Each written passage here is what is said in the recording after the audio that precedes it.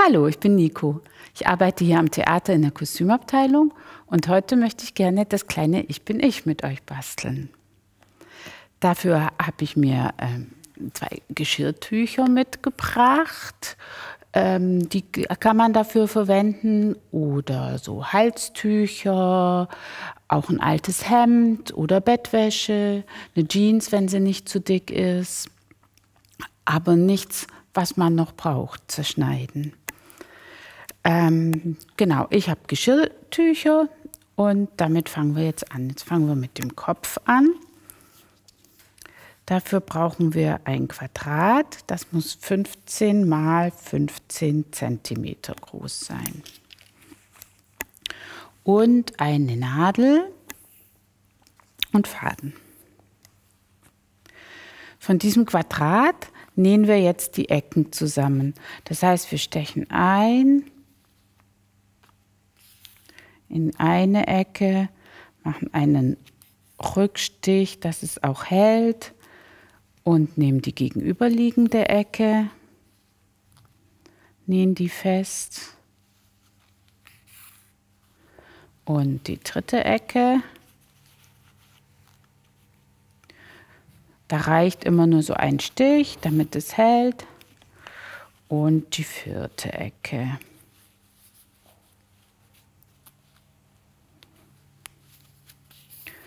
Auch ein Stich. Dann lasst ihr die Nadel da drin stecken, weil die braucht ihr noch.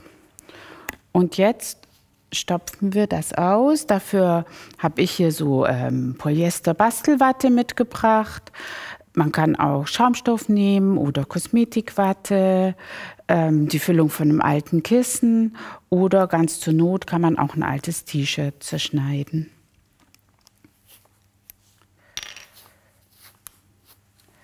Damit füllen wir jetzt den Kopf.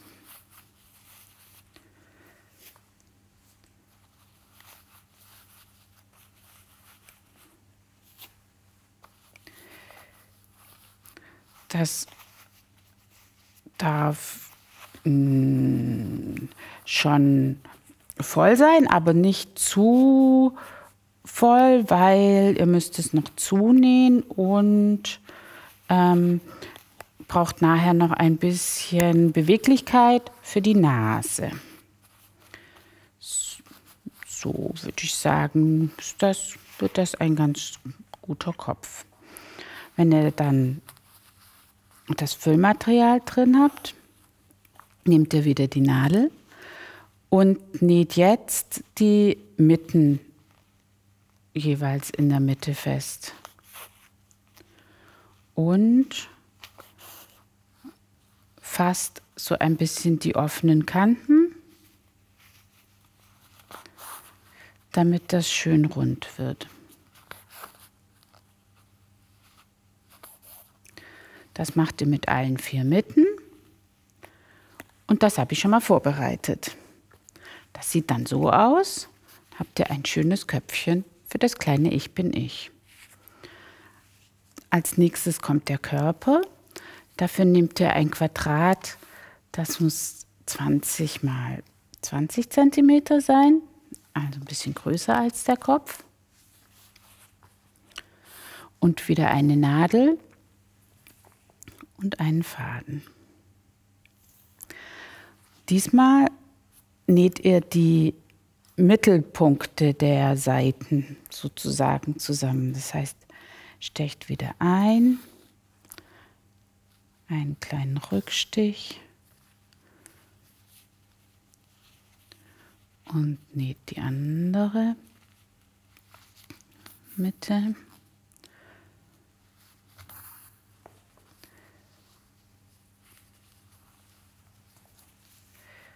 Die dritte Seite und die vierte.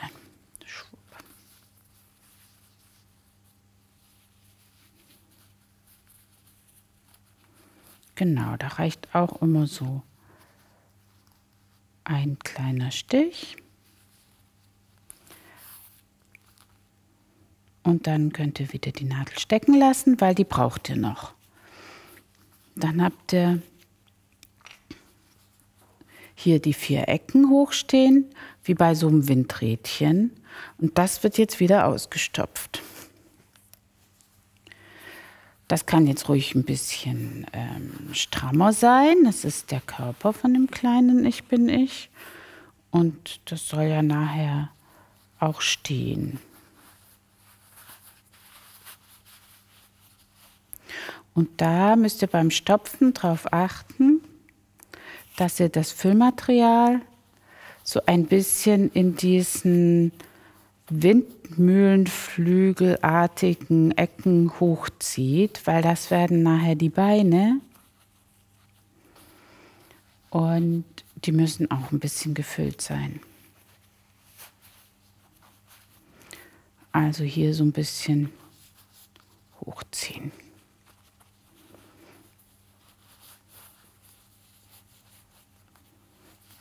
Dann stopft er alles schön aus.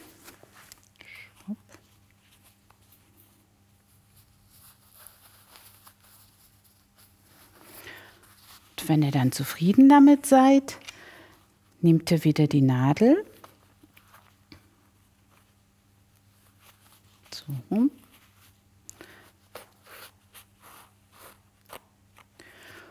Und klappt jetzt die Ecken in die Mitte und dabei entstehen die Beine. Dann näht ihr die Ecke fest und schiebt die offenen Kanten so ein bisschen nach innen und fixiert das durch einen kleinen Stich.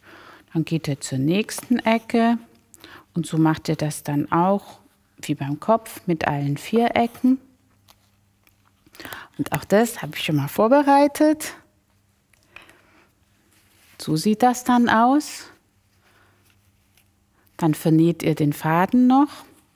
Das macht ihr beim Kopf auch. Vernähen heißt, man macht so zwei, drei Stiche auf der Stelle und dann kann man ihn abschneiden. So. Jetzt werden die Beine ähm, mit Wollresten abgebunden. Das heißt, ihr nehmt immer so ein Stück Wolle und wickelt das zweimal, damit ihr es schön stramm ziehen könnt, um jedes Bein. Dann macht ihr nochmal einen Knoten drauf und schneidet es ab. Auch das macht ihr mit allen vier Beinen.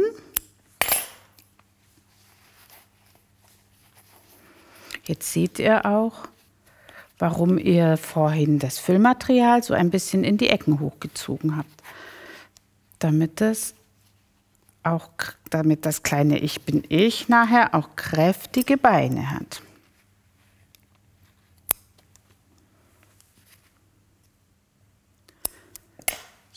So.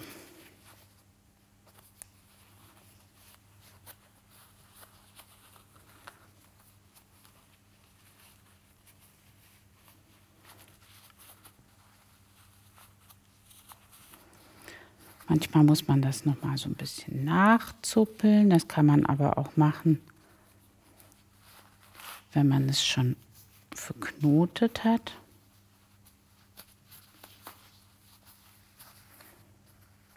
So, einen Doppelknoten und abschneiden. Und dann machen wir das mit dem vierten Bein auch noch.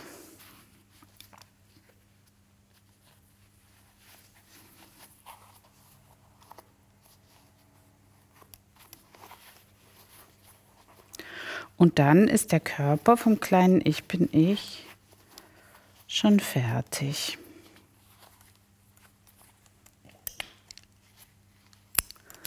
So, das Bein ist jetzt ein bisschen dünn geworden. Da ziehe ich noch mal ein bisschen Material rein. Und dann gucke ich mir das an und überlege mir, wo vorne und hinten sein könnte. Ich entscheide mich jetzt dafür, dass hier vorne ist und da hinten. Und dann nehme ich wieder meinen Kopf und jetzt nochmal Nadel und Faden und nähe den Kopf am Körper fest. In einer Position, man sagt, ja, das ist eine gute Position für den Kopf. Dafür befestigt ihr den Faden am Kopf, auch mit so einem kleinen Rückstich. Und dann näht ihr immer einmal in den Körper, einmal in den Kopf, einmal in den Körper, So einmal in der Runde rum, immer einmal oben, einmal unten. Zwischendurch schön stramm ziehen, damit der Kopf auch hält.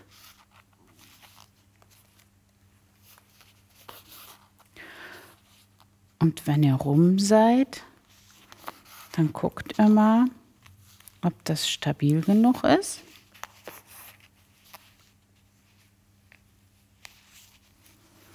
Wenn nicht, dann dreht er nochmal eine Runde, aber der hält jetzt schon ganz gut. Dann vernähe ich meinen Faden. Das heißt, ich nähe zwei, dreimal auf der Stelle zurück und schneide ihn ab.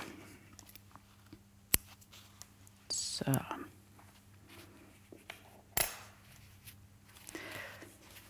Jetzt braucht das kleine Ich bin ich noch eine Nase.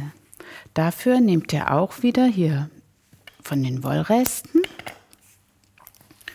und zieht euch aus dem Kopf so einen Knubbel raus, den ihr dann abbindet, so wie bei den Beinen auch. Zweimal rumwickeln, stramm ziehen. Und einen Knoten draufsetzen.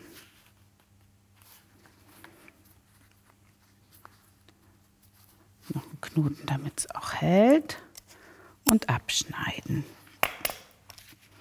Jetzt hat das kleine Ich bin ich eine Nase. Die könnt ihr auch noch ein bisschen zurechtzupfen, wenn ihr wollt. Aber das ist sozusagen der individuelle Ausdruck eures kleinen Ich bin Ichs.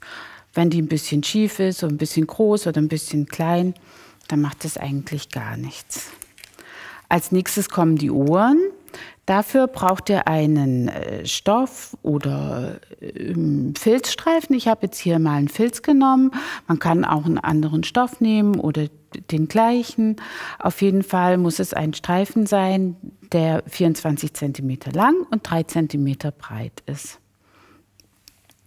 Und dann könnt ihr gleich dazu euch überlegen, was für Haare das kleine Ich bin ich haben möchte. Dafür nehmt ihr auch wieder diese äh, von euren Wollresten, entweder die gleichen, die ihr zum Abbinden genommen habt oder etwas anderes. Ich nehme mal hier davon. Und legt euch eine Schleife, wickelt so 10 bis 12 Zentimeter dreimal um eure ähm, Finger, schneidet es ab und macht einen Knoten. Den braucht man, damit man es gleich besser annähen kann. Und schneidet die Schlingen auf. So, das ist die Frisur vom kleinen Ich bin ich. Jetzt braucht ihr noch mal eine Nadel. Ihr könnt es auch kleben, aber nähen hält immer besser. Jetzt legt ihr die Ohren einmal längs auf die Hälfte und macht dann quer so eine kleine Falte rein. Die fixiert ihr auch wieder mit einem Stich.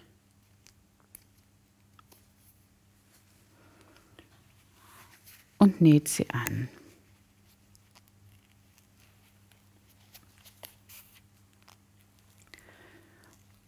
Und auf die Stelle, wo ihr die Ohren annäht, kommt dann direkt, kommt direkt die Frisur. Dafür stecht ihr in den Knoten ein.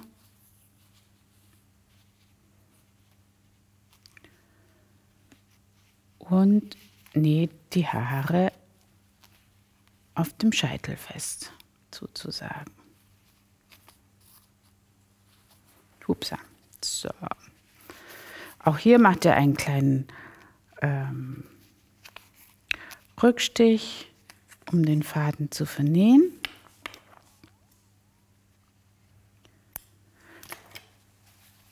Dann könnt ihr es abschneiden und direkt verwenden, um den Schwanz anzunähen. Für den Schwanz könnt ihr auch ähm, Wollreste nehmen und einen Knoten machen oder einen geflochtenen Schwanz. Ihr könnt auch ähm, ein Stück Filz zurecht basteln. Oh. Vielleicht nicht so eine gute Idee. Ähm, genau. Und dann näht ihr den Schwanz dahin, wo der Schwanz sein soll. Da reichen auch ein paar kleine Stiche. Auch den kann man kleben, aber nähen hält besser. Und das Nähen habt ihr ja jetzt schon geübt. So, nochmal ein Rückstich zum Vernähen.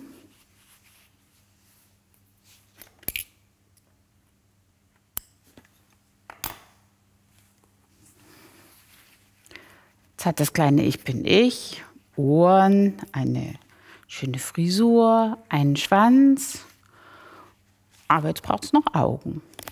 Für die Augen könnt ihr ähm, hier entweder so professionelle Augen aus dem Bastelgeschäft nehmen, aber das braucht ihr gar nicht. Ein paar Knöpfe sind auch hübsch. Oder, ähm, oder ähm, Bastelfilz. Da habe ich mal was vorbereitet und das könnt ihr dann einfach aufkleben.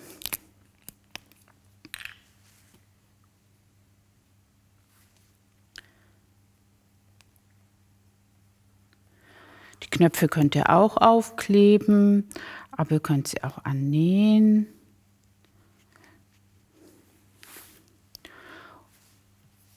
Und wenn ihr schon erfahren seid im Nähen, dann könnt ihr auch mit einem Knopflochstich zum Beispiel, dem kleinen Ich bin ich, noch Wimpern ähm, sticken. Und ich würde ihm jetzt einfach noch Pupillen malen, damit es auch was sehen kann. So. Das wäre jetzt das kleine Ich bin ich. Viel Spaß!